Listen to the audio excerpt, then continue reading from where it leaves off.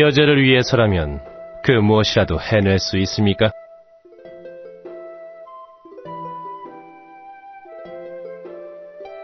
에레브에 오신 것을 환영합니다.